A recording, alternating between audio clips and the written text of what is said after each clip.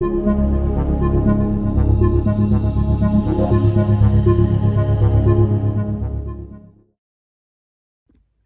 my name is Krithika Natarajan. I am a rising senior at Wilton High School in Wilton, Connecticut. In September of 2020, I was a junior in three AP STEM classes in the midst of a pandemic. I was learning college level content at home from Zoom.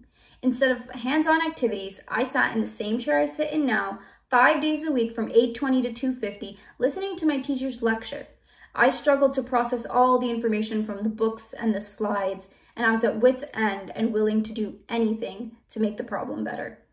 During this time, my dad introduced me to Julia, specifically the Pluto notebooks. I was learning Java already, but learning through a notebook form was new.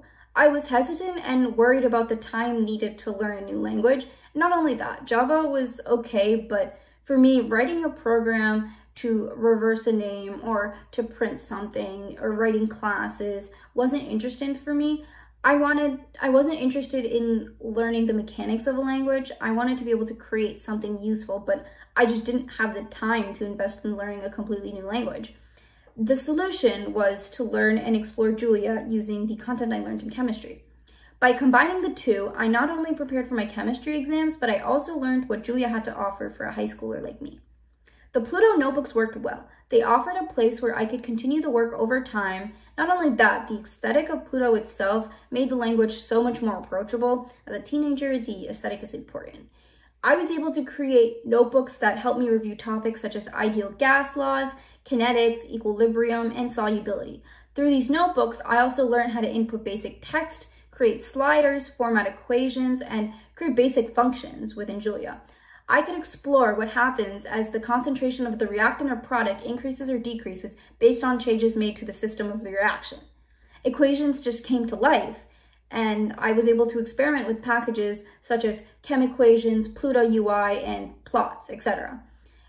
Since applying Julia into chemistry works so well, I wanted to see how it would work with other parts of my life.